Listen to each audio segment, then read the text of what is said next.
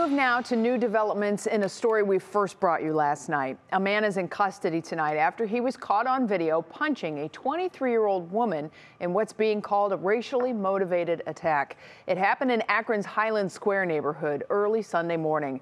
Our Brandon Simmons joins us live with more information on the man involved and the additional charges he could be facing. Brandon?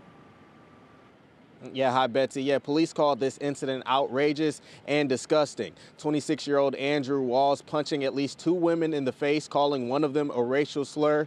And that whole incident was caught on video with many witnesses standing nearby. I want to warn you that this video can be disturbing to some people who view it. This incident happened just after midnight early Sunday. Walls can be heard in the video yelling racial slurs and getting into an altercation with some men. When Cameron Morgan walked over to try to get him to stop, he called her derogatory names before punching her in the face. Now, we also learned that Walls is now facing a second assault charge for punching a second woman right after hitting Morgan. That's the punch that happens just out of frame. Now, Morgan says she suffered a busted lip and a concussion, and she's thankful for those who stepped stepped in to help her. And police today say they're leaving no stone unturned on this case.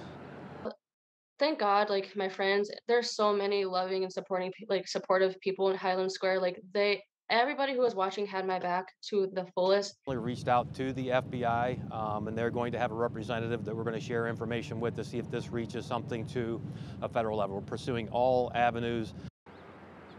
Now, Walls is already facing two assault charges and another charge for possessing a weapon while intoxicated, but police say their investigation is ongoing and additional charges could come later, including federal hate crime charges, but that's yet to be determined. Now, there have also been reports that Walls is connected to the far-right national group known as the Proud Boys. Of course, police talked about it today, but said they haven't been able to confirm that connection. That's something they're still investigating. I do know that now that he's in custody, they say he will be questioned, booked into jail, and that's something they'll look into and also ask him more questions about what happened last night. Betsy? Well, this video went viral over the weekend, so we know there's a lot of eyeballs that will be following this along with us. All right, thanks so much, Brandon.